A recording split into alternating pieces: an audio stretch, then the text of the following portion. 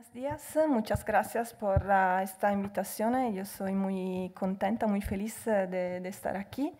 Eh, intentaré de eh, compartir con, uh, con, vosotros una charla que eh, para mí es una posibilidad de eh, poner alguna reflexión sobre el, el tema del seminario de hoy día. Eh, entonces, uh, intentaré hablar de, de, de este, este, tema de qué paisaje queremos construir, qué eh, paisaje eh, queremos vivir. Em, bueno, y hablaré en, inglés. En inglés. Um,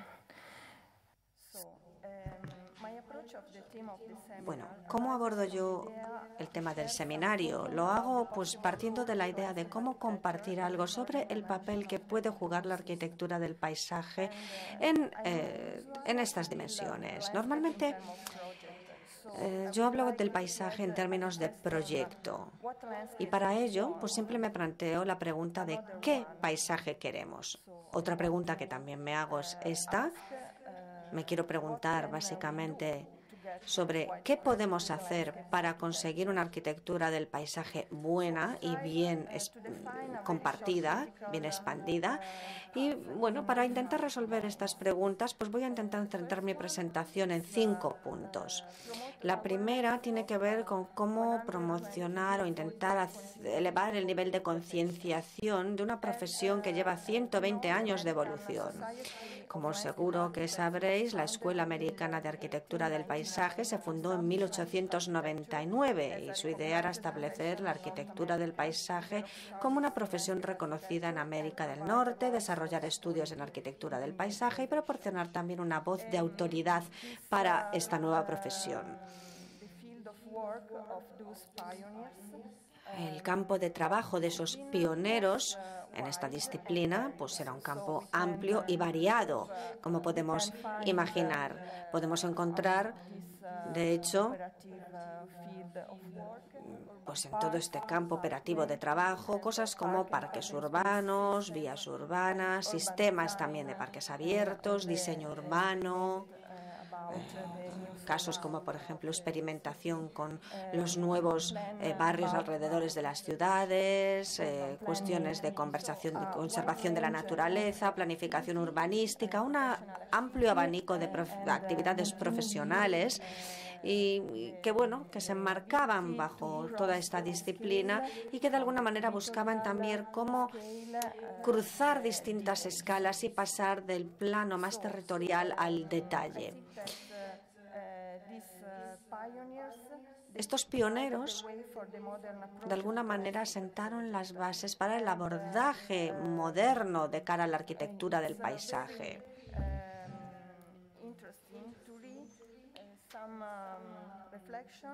Algunas de las reflexiones que nos dejaron algunas de las mayores autoridades en la arquitectura del paisaje resultan realmente interesantes. Este hombre, por ejemplo, Olin, escribía una carta unos pocos años después de fundar la Sociedad Americana de Arquitectura del Paisaje y decía que es duro pensar, es difícil pensar en ningún otro campo que haya conseguido tanto para la sociedad con tan pocas personas y tan poca comprensión de su ámbito de aplicación o ambiciones. Una declaración como esta pues, nos lleva a intentar reflexionar sobre los primeros problemas a los que se enfrentó la arquitectura del paisaje, que básicamente pues, un poco intentaban pensar en la distancia entre lo que podemos hacer y dónde están los objetos inertes con los que trabajamos. Hay muchas definiciones oficiales eh, que podemos encontrar sobre qué es la arquitectura del paisaje. Aquí, en la diapositiva, vemos la proporcionada por la ECLAS, la Asociación de Escuelas de Arquitectura del Paisaje, por el Consejo Europeo. Y aquí podemos reconocer y podemos ver que le da una enorme importancia dentro de la arquitectura del paisaje a la cuestión de que es una disciplina que tiene que combinar distintos abordajes eh, con distintas escalas también que tienen que ver con la transformación espacial.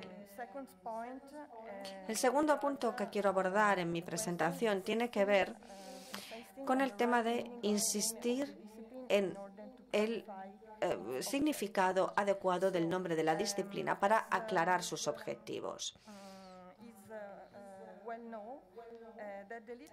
Todos sabemos que este nombre, arquitectura del paisaje, se utilizó por primera vez en una comisión pública creada por Frederick Law Olmsted y Calvert Vaux, eh, bueno, hacia finales del siglo XIX. Y bueno, a partir de ahí empezó a utilizarse con más frecuencia y se utilizó enormemente también en su versión francesa, el Chit paysagiste, por eh, bueno, paisajistas como Jean-Marie Morin. Sea como sea, al final esta denominación es de alguna manera una expansión del concepto de jardinería paisajista. Olmsted, en una carta escrita a Carmel Bo, escrita más o menos en 1865, decía que el tema paisaje no es una buena palabra, arquitectura tampoco, la combinación tampoco, jardinería peor. Este arte no es jardinería ni es arquitectura. Con respecto, por lo tanto, a qué nombre escoger para esta nueva profesión, escribía este hombre, Olmsted, otra nueva carta a otro de sus colegas, unos años un poco después, en la que, la que le decía que quizás llamarse arquitecto del paisaje era mejor que jardinero del paisaje, porque define de alguna manera un poco mejor las ideas profesionales que inspiran al nombre.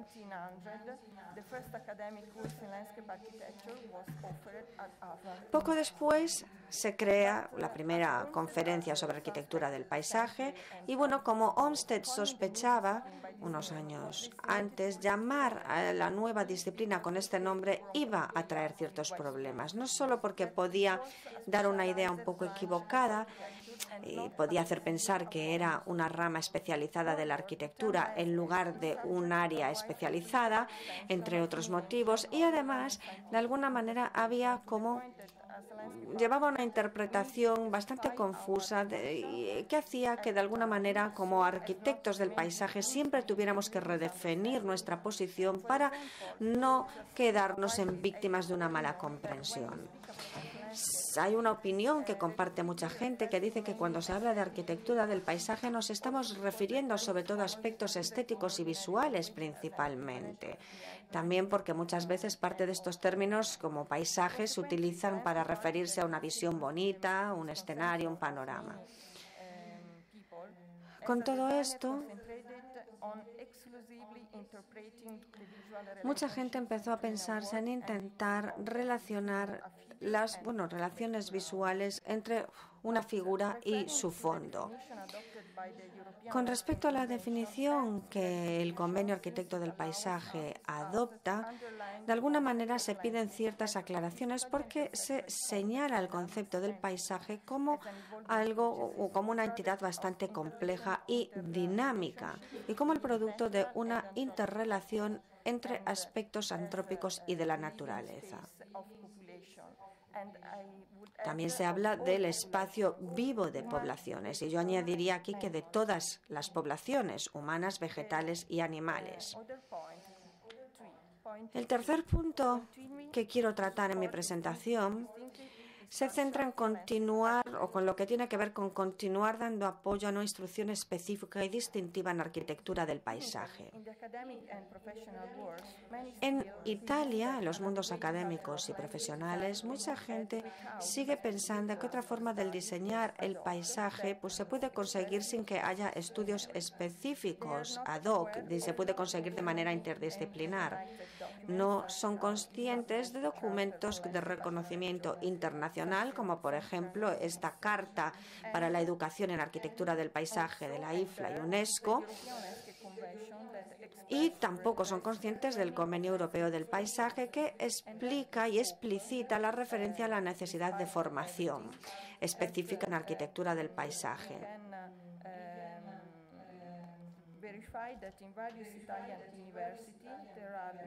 Hay algunas universidades italianas en las que se dan hoy en día cuatro cursos, cuatro grados en arquitectura del paisaje y también hay algunos otros cursos de posgrado especializados, más profesionalizados. Um, es importante uh, señalar que para un arquitecto del paisaje, parte de sus competencias tienen que ver con la posibilidad de trabajar con sistemas vivos. Con esto me refiero en el sentido de que los arquitectos paisajistas tienen que bueno, tienen esa necesidad de aprender cómo trabajar con mm, distintos procesos ecológicos, culturales, etcétera. Para esto o a este respecto podemos decir que el tiempo de los arquitectos del paisaje es sustancial. Según dice John Besley, el tiempo del paisaje es complejo. Ningún lugar es una tábula rasa sin historia. Cualquier intervención por cualquier diseñador es parte de una serie de intervenciones, de marcas ya inscritas o que aún hay que inscribir en ese lugar. Cualquier diseño está sujeto a las acciones de fuerzas culturales y naturales no predecibles y dinámicas. Las transformaciones continuas que producen el crecimiento, la decadencia, por ejemplo, o patrones cambiantes de usos sociales y habitabilidad. Así que, en un sentido muy amplio, se trata del el proceso de hacer una buena arquitectura del paisaje sigue a una asignación de un cartógrafo, un arqueólogo, un, historia, un historiador, etcétera. Por este motivo, pasamos al cuarto punto de mi presentación, que tiene que ver con cómo promover intersecciones continuas y ventajosas entre investigación, formación y la profesión.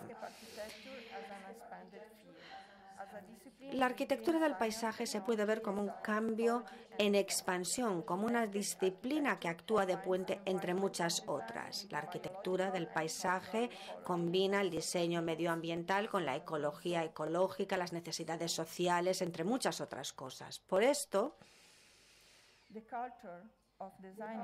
Podemos decir que la cultura de un proyecto de diseño de un paisaje necesita, de alguna manera, contaminación en el que se involucran educación, investigación y trabajo de campo. Hay varias palabras clave que podemos señalar aquí y que pueden representar distintas escalas y categorías de intervención. Podemos citar, por ejemplo, prestar atención al cambio climático, la gestión de riesgos, la regeneración medioambiental, la conservación de recursos activos, producción de bienestar individual y colectivo, aumento de conectividad cultural, aumento de la biodiversidad, etcétera.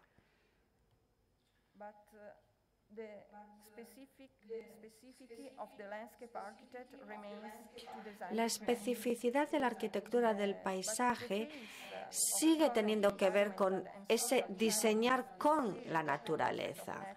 Además de todos los retos sociales y medioambientales, hay que actualizar muchos otros retos y este del diseño con la naturaleza fundamentalmente. Hoy en día en el centro McCarg en Filadelfia eh, pues, eh, se inaugura una conferencia que trata precisamente sobre este problema, sobre cómo podemos diseñar a día de hoy con la naturaleza.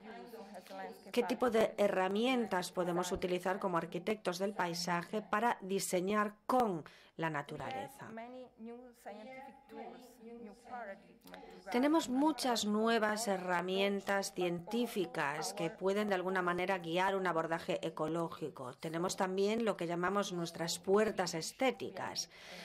Y esto me lleva al quinto punto para finalizar mi presentación, con el que intentaré referirme a que la que cómo podemos comunicar y qué podemos hacer con la arquitectura del paisaje. ¿Qué hacemos con ella? Pues muchas cosas, como por ejemplo recuperar paisajes como estas. Tenemos muchos ejemplos paradigmáticos que podríamos mostrar como este. Aquí se puede ver un ejemplo, por ejemplo, de, bueno, en esta imagen, pues vemos, por ejemplo, este es el, el vertedero Fresh Kills en Nueva York. En esta otra imagen Vemos Fresh Hills Park en 2017, todo el proceso de restauración de una gran zona que se había abandonado, que estaba toda contaminada y bueno, un proceso que fue llevado a cabo por James Kill. Podemos gestionar riesgos también lo podemos hacer pues mediante sistemas que integren espacios abiertos, parques, etcétera. Aquí vemos un ejemplo, por ejemplo, eh, llevado a, cabo por estos Landscape Urbanism para de alguna manera recuperar una de las zonas más contaminadas de esta ciudad. La idea aquí era trabajar eh, para intentar regenerar todo, todo esto. También podemos trabajar con las infraestructuras para integrarlas, integrar esas infraestructuras en el paisaje. Vemos aquí, por ejemplo, podemos hablar de infraestructuras lineares o cualquier otro tipo de infraestructura u obra. Por ejemplo, podemos hablar también de zonas como vertederos y cómo integrarlas. Podemos también hablar de preocuparnos del patrimonio